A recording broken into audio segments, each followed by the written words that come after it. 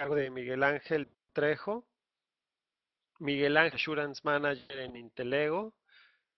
Él es ingeniero egresado de la UNAM con seis años de experiencia en aseguramiento de calidad y testing, asesor de carrera y formación de talento en prácticas de testing.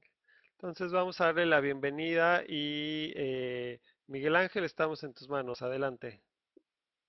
Muchas gracias, Pedro. Buenas noches a, todos. Antes, que, antes de comenzar, quiero agradecerles que se hayan tomado el tiempo de, venir, digo, considerando que es eh, el inicio de puente, Día del Niño, quincena, coincide en varios puntos. De hecho, yo tampoco sé qué estoy haciendo aquí, debería ya estar en la fiesta, pero bueno, muchas gracias este, por darse el tiempo.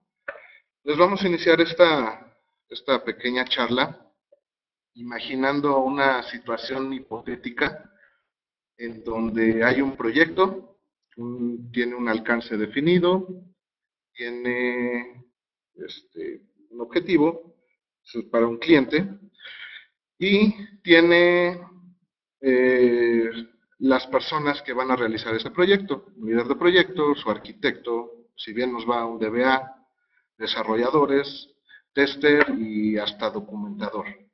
Ahora, partiendo de esta situación hipotética, ¿cómo se asigna el personal?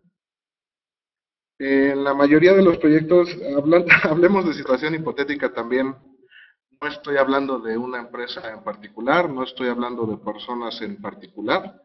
Digamos que esto es una recopilación de, de hechos, de conocidos, amigos que me han platicado estas situaciones y de cosas que yo he visto, ¿no? Entonces, ¿qué pasa en la asignación del personal? cuando comienza el proyecto. ¿Cómo, qué es, ¿Cuáles son los criterios que se deben de considerar para asignar a un tester?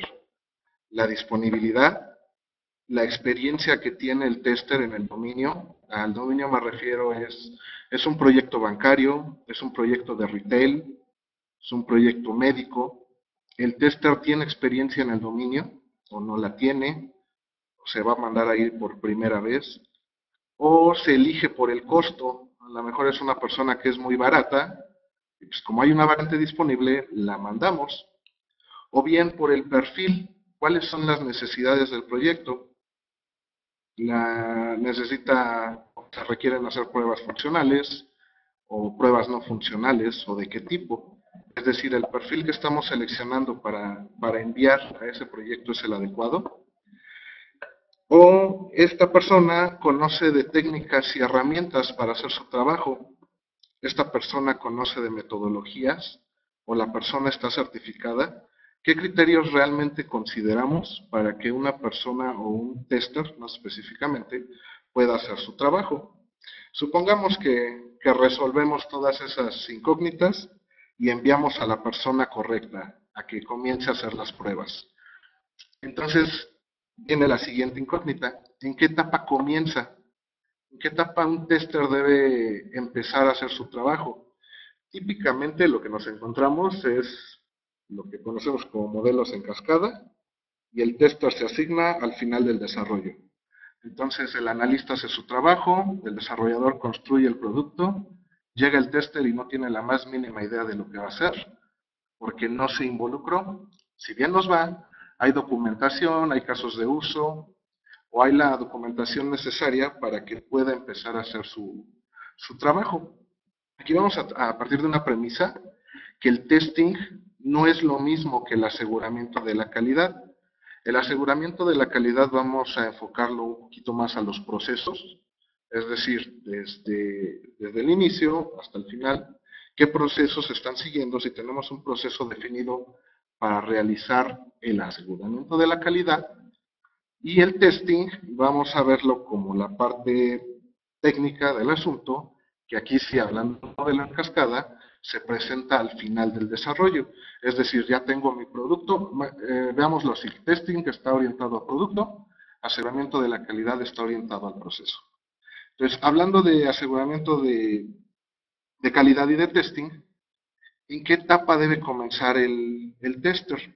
Hay diferentes tipos de ciclos de vida de proyectos, modelos en cascada, eh, las variaciones, los modelos iterativos, y al mismo tiempo hay metodologías como el modelo B o el modelo W, para el, el aseguramiento de la calidad. Así una breve reseña, lo que nos dice es que por cada nivel o por cada etapa de nuestro proyecto vamos a tener en paralelo nivel de aseguramiento de la calidad, es decir, desde la planificación, desde que se levantan los requerimientos, hacer análisis estático para ver que los requerimientos estén bien, bien recolectados, que sean funcionales, que no haya huecos, y partiendo también de la premisa del testing, que es mientras más temprano se encuentren los efectos, más baratos se va, a salir eh, corregirlos. Entonces, mientras en etapas más tempranas los detectemos, pues va a ser mejor. Entonces, todas las, todas las metodologías, eh, hablando de testing, hay varias metodologías que básicamente proponen un modelo estándar, hablando de metodologías como el modelo B, modelo W y varios frameworks como lo es el TPI, el Test Process Improvement, el TMMI, Test Maturity Model, o los mismos, ¿no? El CMMI, DEP, el, el ISTQB, bueno, hay varias. Todas básicamente proponen un modelo estándar que se separa por etapas. Independientemente de las etapas de nuestro, ciclo de vida de desarrollo, vamos a ir acotando al proceso estándar que tienen las pruebas. Entonces debe haber una planificación de pruebas, análisis y diseño de pruebas, la ejecución como tal, reporte de pruebas y cierre de pruebas. Hablando de estos procesos, y ya que tenemos un proceso definido, también existen niveles de pruebas. Es muy chistoso porque cuando una persona no está totalmente calificada y se deja llevar, ¿qué es lo que pasa? No? El líder de proyecto asigna al tester y le dice, ok, te toca probar esto, este es tu módulo, y pues ya, me avisas cuando termines. Entonces el tester debería de saber que existen todos estos, como todos estos niveles de prueba, todas estas metodologías para poder hacer su trabajo. Eh, saber que en los niveles de pruebas, por ejemplo, unitarias, modulares, existen incluso, eh, o la metodología indica, que debe de haber planes y estrategias de prueba por nivel. Comúnmente, y eso lo he visto, el tester empieza a probar y como lo mencionaba en la semblanza, ¿no? Empieza a picar botones realmente y eso porque le dicen este es el módulo que te toca, al entender este es mi módulo, entiende este módulo son mis cuatro pantallas, pues a picarle, ¿no? hasta que salgan los errores. Es una persona que, que realmente está calificada, perdón, debe saber identificar en qué etapas y cómo va a desacoplar para los componentes para saber cómo va a probar cada uno de esos componentes, que al final se convierten en un producto.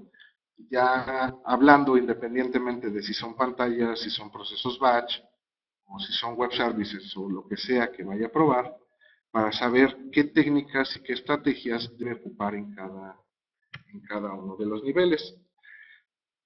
Es, este, bueno, hablando de eso, me llega a la mente en entrevistas que he hecho a personas que les preguntas, oye, ¿y qué tipo de pruebas haces? Y orgullosamente te dicen, ah, pues yo hago pruebas funcionales. Ah, muy bien, ¿cómo las haces? Ah, pues tomo mi caso de uso y lo descompongo en, casos de, en mil casos de prueba, pues de ahí me voy. Ah, ok, ¿y no conoces pruebas de, o no has hecho pruebas de instalación? Y la respuesta es, pues no, porque yo le pido al desarrollador que me instale el ambiente. Ah, ok. ¿Y no has hecho pruebas de migración? Pues no. ¿Y de convivencia? Pues no, tampoco, ni siquiera las conocía. Entonces, bueno, este, este diagrama pues ilustra algunos de los tipos de prueba que existen y que realmente no son tan conocidos. Se deben de plantear en las estrategias, cada una tiene sus, sus objetivos particulares y sus estrategias y técnicas en particular, que pues bueno, se, la invitación es a, que las conozcamos y el, manejo del, perfil que, que, hacemos. Hablando de esto, pues bueno, hay técnicas, por ejemplo, para la usabilidad. Eh, cuando hablamos de usabilidad, lo típico es que el tester diga, ah, pues tengo mi pantalla y pues se ve bien, se ve bonito y ya. Ok, ¿y qué otras condiciones de usabilidad conoces? Ah, no, pues nada más. Ah, y no has considerado tener a lo mejor eh, el manejo de colores, eh, cómo reacciona la pupila a ellos, o qué tan fácil de recordar es el sistema. Cuando tú has, cuando tú das una capacitación del sistema que estás usando, ¿es fácil de recordar? ¿O tiene que haber un manual? ¿O utilizas toolkits en las herramientas? Entonces, todas esas cosas se deben de considerar. Cabe mencionar que, además de las pruebas funcionales, pues existen las no funcionales y todas deben ser medibles. Entonces, como les decía, todo este tipo de, de pruebas deberíamos de conocerlas y conocer los objetivos de cada una de ellas. Ahora, hablando de técnicas y estrategias, en cada uno de los niveles, eh, y esto también lo marcan diferentes metodologías, sobre todo la del ISTV, que es una de las más, este, no es que sea una de las más completas, pero las marca muy claramente, son las, las técnicas que podemos utilizar, por ejemplo, la de todos los pares, o las de particiones equivalentes, eh, por ejemplo, nos habla de, de no probar eh, en combinatorias, ¿no? sino que podemos elegir conjuntos de valores para realizar nuestras pruebas. O valores en la frontera, que, nos habla de, igual, si tienes, si ya acotaste tu, conjunto de, valores que vas a probar, pues no es necesario que pruebes todo ese conjunto.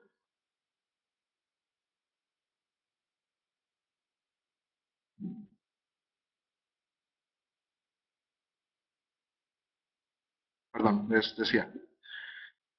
Entonces, bueno, todas estas estrategias y técnicas de pruebas, el tester debería de, conocerlas. ¿Para qué? Para que pueda realizar bien, bien su trabajo. Hablando de, del dominio, por ejemplo, existen estas, este tipo de pruebas que son las heurísticas.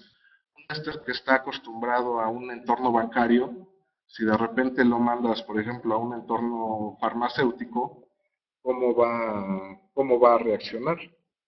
Deberían, bueno, es, es importante mencionar la, la, gran responsabilidad que tiene el, el tester, ¿no? El, al ser la, la última, el último eslabón de la cadena, que, que conozca la, la responsabilidad que tiene encima. Es decir, muchos conocemos, ¿no? Que si el sistema sale mal, ¿de quién es la culpa? Del tester, que no probó bien. Pero si el tester se preocupa por documentarse, o nos preocupamos por documentarnos, por tener las capacidades necesarias, los conocimientos necesarios, pues bueno, vamos a ir mejorando mucho el, nuestra, nuestro trabajo. Y el objetivo, finalmente, es brindarle eh, la calidad al, al producto. Entonces, hablando de, también de aseguramiento de la calidad, pues bueno, muchas de las metodologías y sobre todo hablando de alta madurez, proponen lo que son las revisiones por pares.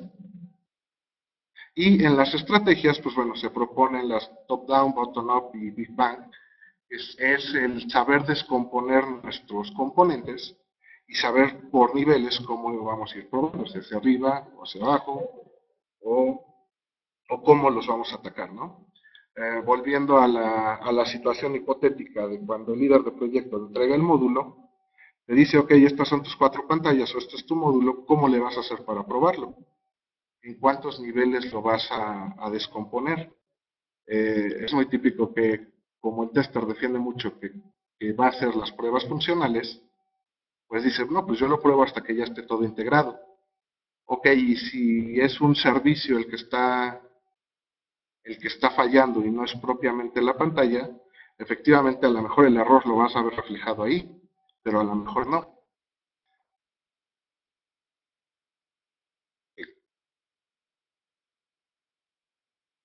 Bueno, Como les decía, hablando de, metodologías y marcos de referencia, tenemos el, el ISTQB, el CMMI nivel 5, el PMI, el TMMI, los estándares del triple, el IEEE, y hablando de pruebas de seguridad, que bueno, ahorita se, se mostraban y no vimos mucho de ellas, también tienen todo un marco de referencia.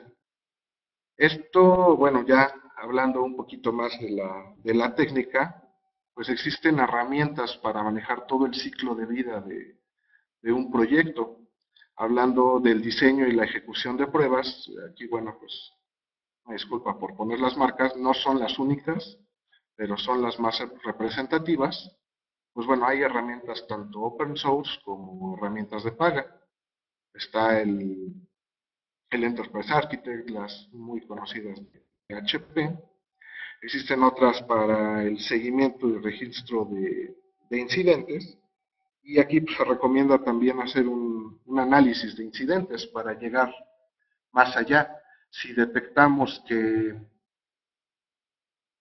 que se están encontrando incidentes, que por cierto son los más comunes que encuentran testers, ¿no? los de faltas de ortografía, pues hacer un análisis de incidentes para saber qué es lo que se está detectando. O más bien, por qué se están presentando esas situaciones. O se pueden presentar otros casos en donde el desarrollador es muy bueno, pero tiene, a lo mejor le falta conocer un framework y de ahí se derivan esos, esos incidentes, pues bueno, el tener un registro adecuado de esos incidentes y esos análisis nos permiten sacarla o encontrar esto para una mejora continua en los procesos. Existen otras herramientas que son de integración continua y de calidad del, del código, como lo son el Jenkins. Esto les estoy hablando agnóstico a las, a las tecnologías. Esto es independiente de si son tecnologías Java, si son tecnologías .NET, PHP. Eso es independiente. Algunas se pueden utilizar, algunas otras se, se, les puede dar la vuelta o tienen plugins para complementar esos lenguajes. Perdón.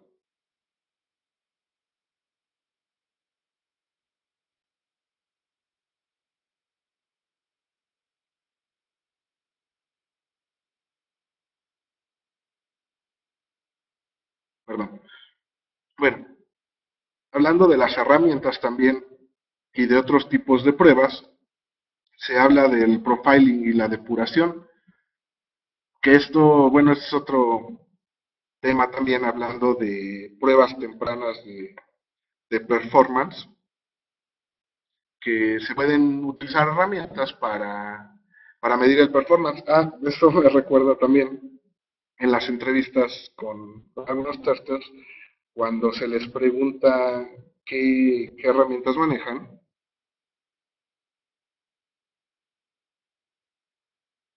¿Sí me están escuchando?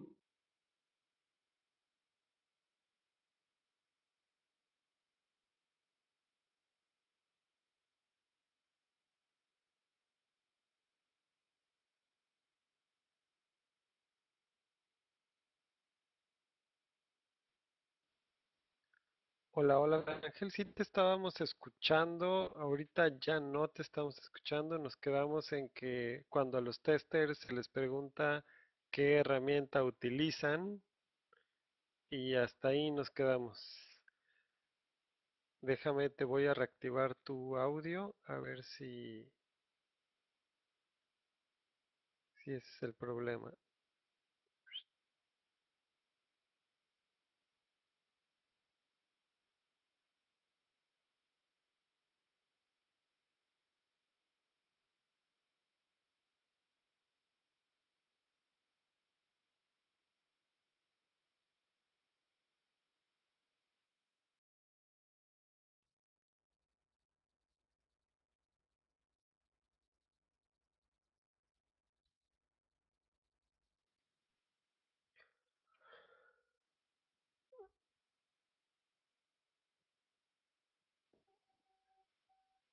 Hola, hola Miguel Ángel, eh, ¿me escuchas? Eh, ¿los demás me están ¿Sí? escuchando? Ah, ok. Ya, ya te oímos otra vez. Nos habíamos quedado en cuando se le pregunta a los testers, este, candidatos en una entrevista qué herramienta utilizan. Ahí nos quedamos. Ah, muy bien, sí. Este, bueno, les comentaba que en este entorno de eh, lo que había comentado antes, ¿no? De que el tester llega y dice, ah, pues solamente sé hacer pruebas funcionales. Y no, yo no instalo mi, mi ambiente, espero a que me lo, a que me lo instalen. Dices, bueno, y entonces, ¿cómo haces pruebas, por ejemplo, de disponibilidad? ¿O qué arquitecturas conoces? ¿Te da igual probar un, un sistema desarrollado en Java que un sistema desarrollado en .NET?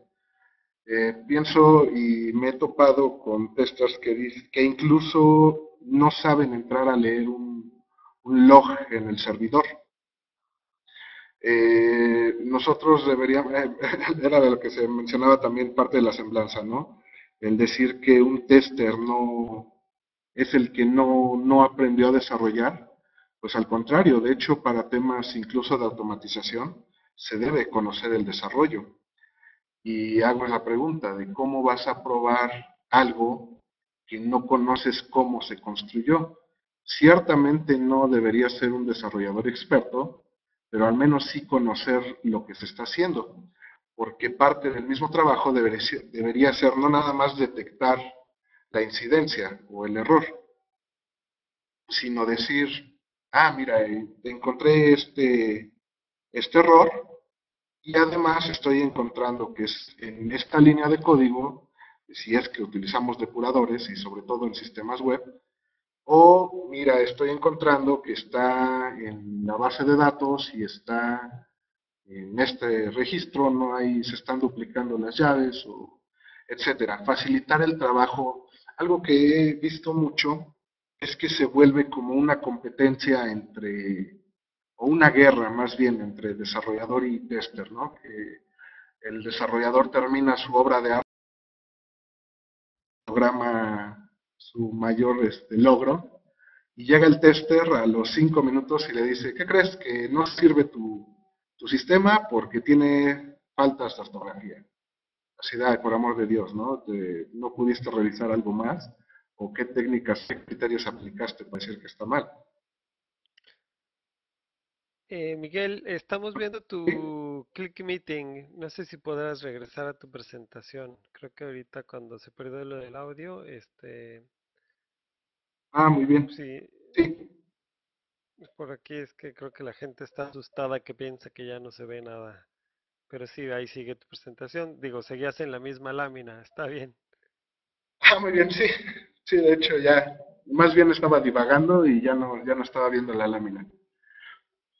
Bueno, entonces les decía que, que nuestras pruebas deben de ir más allá. O sea, por ejemplo, desde que se, se, libera la aplicación, no pedir que se instale. El tester debería de tener y controlar sus propios ambientes. Si se va, si es un sistema web y se va a desplegar, así de, ok, dime cómo lo voy a desplegar, si se va a desplegar en WebLogic, se va a desplegar en un Tomcat, en un Apache, y hacer esas pruebas. ¿Qué pasa si, si no tengo la versión que debería de ser? ¿Qué pasa si no, si no, este, bueno, todos los errores que se puedan derivar de eso, ¿no? Las posibles combinaciones, digo, tampoco estoy diciendo que tengamos que modificar los programas para, para inyectar nosotros los defectos, pero sí el hacer ese tipo de pruebas. Eh, creo que también, eh, como la mayoría de los contratos con los clientes es, yo te llevo tu producto instalado hasta producción, nos olvidamos de todos ese tipo de, de pruebas. Y oh sorpresa, esas pruebas aparecen cuando ya estamos en producción. Que se cayó el servidor de no sé qué, ah, ok, ¿y cómo lo levanto? Ah, pues resulta que nunca hubo un manual o nunca hubo pruebas de esa, pruebas de ese tipo porque el arquitecto o el desarrollador pues lo subió, se liberó, todos se fueron a festejar muy, muy felices. Entonces el tester también debería de hacer ese tipo de, de pruebas y, e involucrarse técnicamente. en, los despliegues de la aplicación, en la instalación, en el performance. Hablando también de performance, eh, es algo muy chistoso que muchos dicen, ah, sí, pues yo te puedo generar mil usuarios, dos mil usuarios, tres mil usuarios concurrentes. Te tiro tu sistema. Ah, ok, ¿y qué herramientas usas? Ah, pues me pongo cinco máquinas y entro en una, y luego le corro a la otra y le corro a la otra y le doy, ¿no? Así de, ¿no? Hay, hay herramientas, eh, bueno, se ven algunos ejemplos aquí en la, en la lámina, que son altamente configurables para eso. Ciertamente se necesitan de muchos equipos, pero se pueden configurar para no tener que estar haciendo las pruebas de esa manera. Y esas pruebas de performance no deberían de llegar hasta ahí. La idea es verificar el comportamiento de los sistemas ya cuando están montados. Es por eso que, se insiste en que los ambientes de pruebas sean muy similares a los de producción, para evitar este tipo de, de problemas. Y pues bueno, hablando de, automatización también, es muy común que, que no se delimite el alcance o que se tiene una, una, idea equivocada de lo que sí se puede automatizar y lo que no, o el costo de la automatización.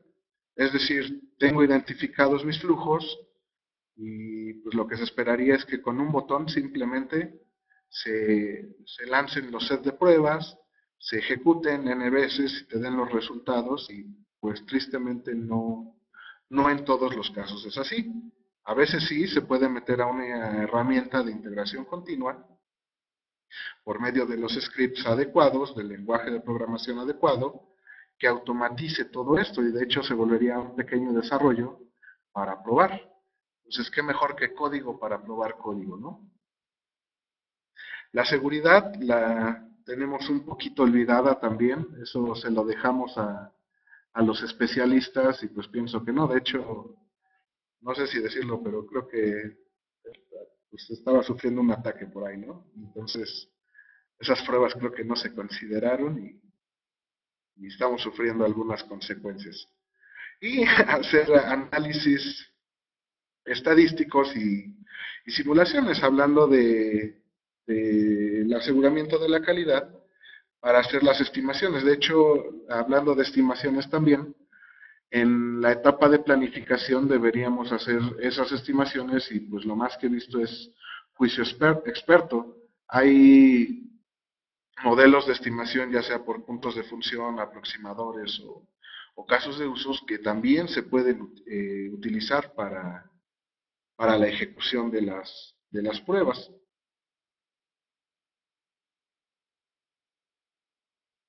Y pues bueno, la parte de, resultados. Esta parte es muy interesante también, hablando de, cómo se reportan los incidentes.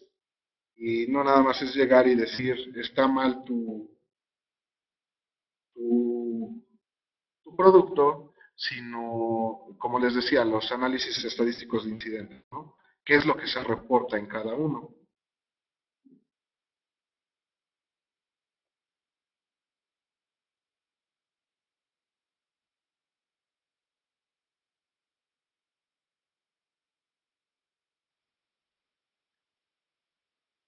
Hola Miguel Ángel, ¿sigues ahí? Otra vez dejamos de escucharte. Voy a reiniciar tu audio.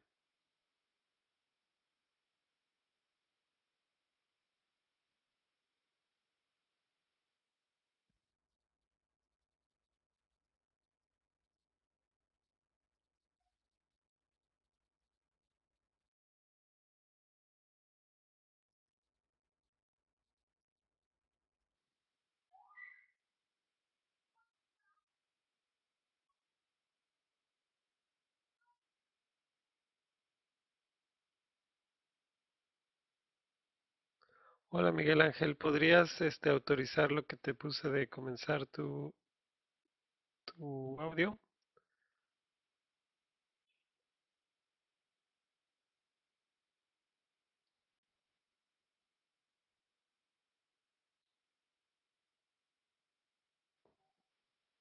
Bueno, bueno. Ah, ya te escuchamos otra vez.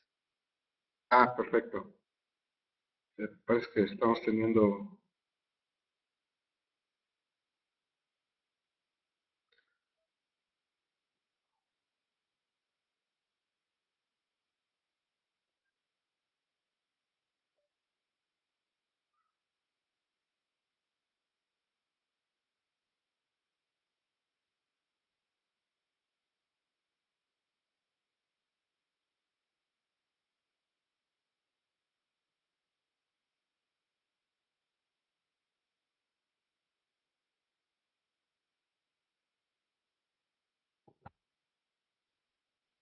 Bueno, bueno, ¿me escuchan?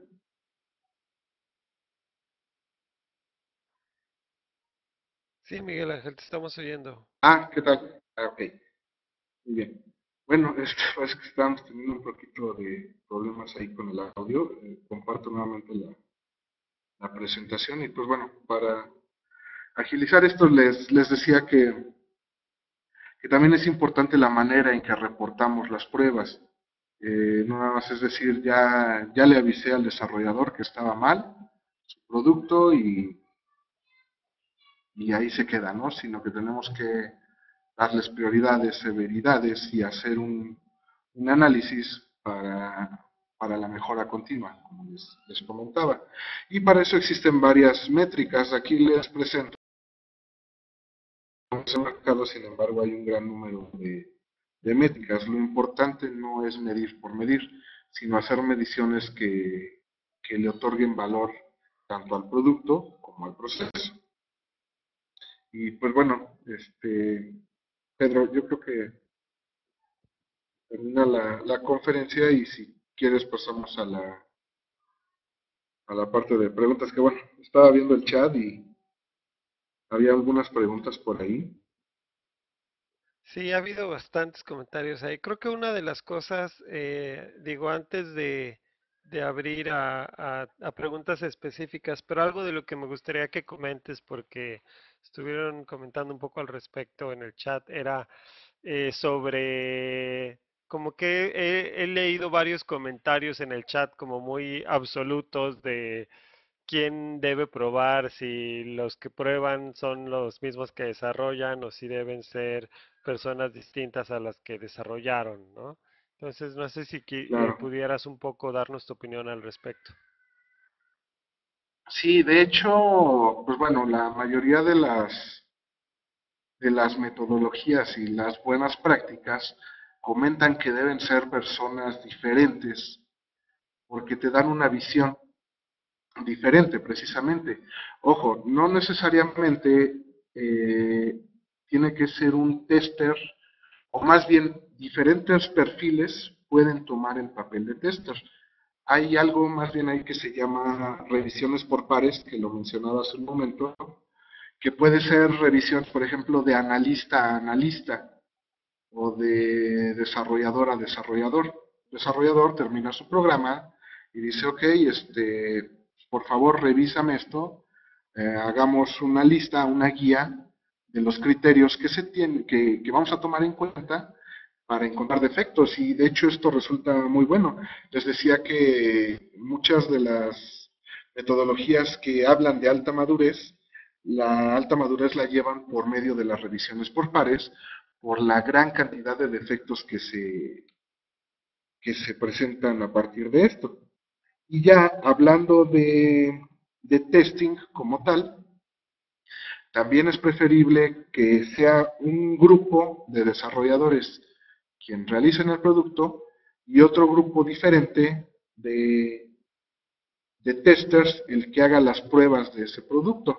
Y como, bueno, ya alcancé a ver algunos comentarios ahí, es correcto, es, se deben de los testers involucrar desde el principio del, del proyecto. ¿Por qué? Porque tanto la planificación, las estimaciones, se hacen desde, desde el principio.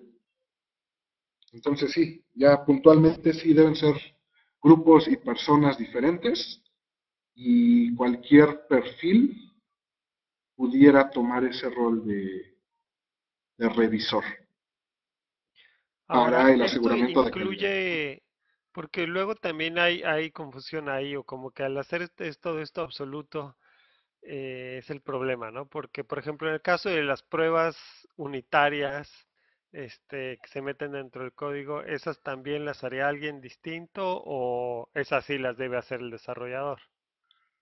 Ah, muy, muy buena pregunta. Esa es la, esa es la típica y es donde empieza el... Si el tester le dice al desarrollador que su código está feo, el desarrollador se desquita con esa, ¿no? De, ¿quién debe probar mi código? Pues tú.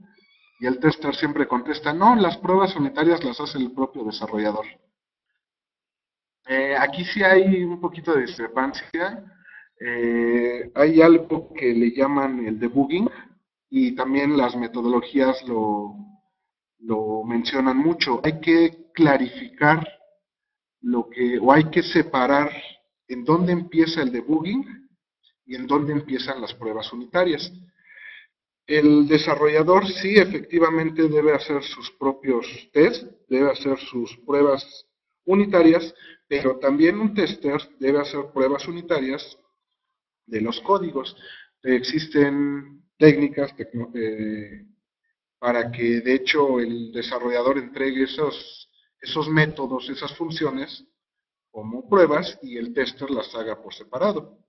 Entonces, sí, sí, sí es correcto también que las pruebas unitarias las haga el tester. Ok. Por ahí nos preguntan qué opinas sobre Test Driven Development y Behavioral, Behavior Driven Development, BDD.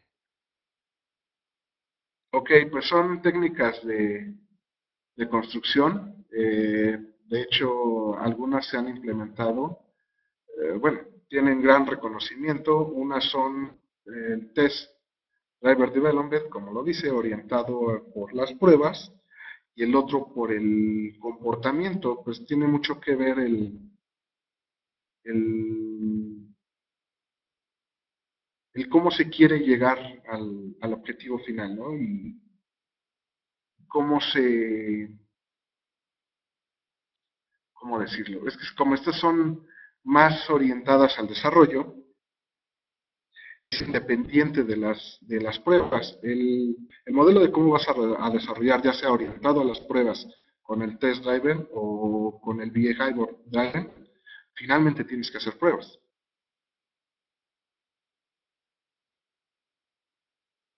Ah, me están diciendo que ya no se escucha otra vez.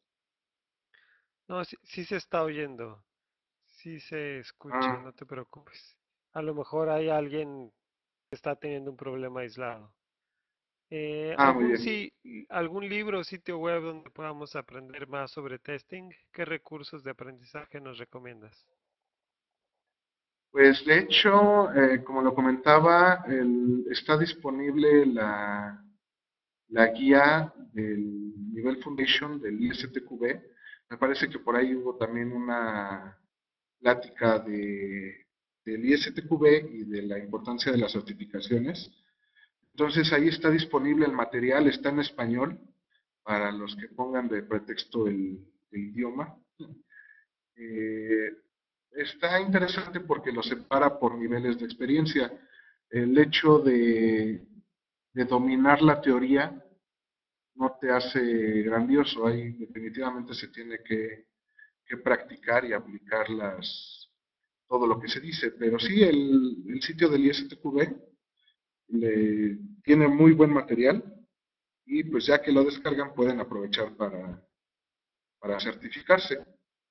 Y pues existen muchos libros, creo que un tiempo sí estuvo un poquito abandonado o el testing o la orientación era muy, muy limitada, pero ahorita ya se pueden encontrar varios sitios en, en internet sobre metodologías y estrategias. Sí, este, bueno, ahí ya puse el, el enlace al sitio web del ISTQB, International Software Testing Qualifications Board. Em, por ahí había otra pregunta que nos hacían sobre, em, dame un segundo.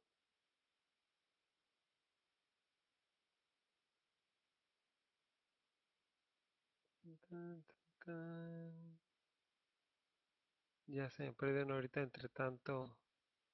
Ahorita comentarios que nos están poniendo. Ah, herramientas open source para testing. ¿Qué herramientas open source Ah, pues bueno, eh, para testing? más que hablar en general de herramientas open source, eh, para el testing primero haría la clasificación de en qué etapa del testing estás. Si estás planificando eh, para administrar tus casos de prueba open source, pues creo que el XStudio es una de las más, las más utilizadas, el Expira Test, eh, hablando de administración y de tus casos de prueba, todo eso. Para la ejecución, de igual forma, para, de igual forma, perdón, el tipo de prueba que estés ejecutando, si, si es prueba de, de performance, de estrés, definitivamente creo que el Gmeter es por excelencia la herramienta open source. Y bueno, aplica para, para web. También depende qué es lo que estés probando. Aplicación web es una aplicación de escritorio, eh, bajo qué está hecha, si es net, este, si es Java Swing, cómo tiene que ver. Pero bueno, eh, te digo, si es web, el Gmeter y WebLoad, hay una versión open también, que de hecho son algunos de los logos que pongo en la, en la presentación. Hay herramientas también para medir el performance de las bases de datos, independientemente si es Oracle, SQL, MySQL. Eh, creo que depende mucho de la tecnología que estés usando. Eh, hay una herramienta que, ah, de hecho también si es web, todos los navegadores traen su herramienta del desarrollador, que les recomiendo mucho, mucho usar. Este, que pues bueno, les ayuda a medir los recursos, ¿no? ¿Qué, recursos están descargando? ¿Cuánto tiempo tardan? Se pueden identificar recursos eh, si están muy pesados, por ejemplo, si imágenes de más de un mega. Eh, se pueden ver ahí las respuestas del servidor, los códigos de error 400, 500. Pues esas van integradas con todos los navegadores, entonces también es open source. Eh, para temas de seguridad, hay una herramienta open que se llama Wapiti. Eh, ¿Qué más? Pues bueno, creo que por mencionar algunas. Bueno, nos preguntan, ¿qué es lo mejor para automatizar si el sistema es web, pero HTML5 o jQuery? Eh, pues bueno, he visto varias herramientas para automatizar. Si seguimos hablando de open source, eh, el, el nombre de... ah, el Watir, perdón, pero está basada, no, me no recuerdo si en Perl o en Ruby. Eh, puedes buscarte ahí algunas este, plugins de Firefox como el iMacros, pero pues yo también pienso que la herramienta por excelencia para la automatización web es el Selenium, pero eh, utilizando ya sea o el WebDriver o el Remote Control. Si bajamos la, el IDE para Firefox nos vamos a quedar muy limitados. Y hablando de, de HTML5, se pueden utilizar selectores CSS3, entonces eso pues, ayuda bastante. Eh, la otra ventaja del, del Selenium es que puedes seleccionar el lenguaje de tu preferencia para fortalecer tus scripts, ya sea Java, este, parece que tiene Ruby, Perl también, C++, entonces se puede utilizar cualquier lenguaje y fortalecer esos, esos flujos. Ah, eh, este es el caso en particular, por ejemplo, que les decía, que como finalmente ya es código, se puede meter a una herramienta de integración continua y pues se puede dejar ahí ejecutando las pruebas este, del tiempo que se necesite, con la frecuencia que se necesite, pues se le puede dar mantenimiento a ese código. Nos preguntan si las pruebas unitarias deberían de ser documentadas por el desarrollador o si el un- Bueno, esa sería la primera pregunta. ¿Las pruebas unitarias deberían ser documentadas por el desarrollador? Las pruebas unitarias, no. El código sí debería ser documentado por el desarrollador y las pruebas deberían ser diseñadas por el tester. Más bien. Ok.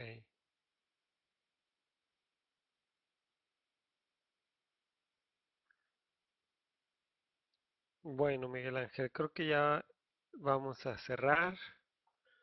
Este, muchas gracias por tu participación, Miguel Ángel. Muchas gracias a, a, a ver, por ahí nos preguntaba alguien antes de cerrar que si podían repetir el nombre de la herramienta de integración continua. Em, Sí, es el, el Jenkins. A ver, si gustan, lo escribo. sí, Jenkins.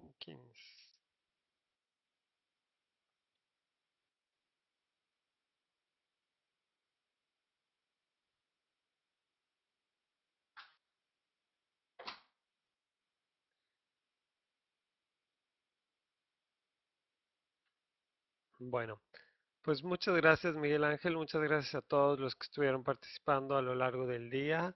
Eh, gracias por su participación en una edición más de SG Virtual.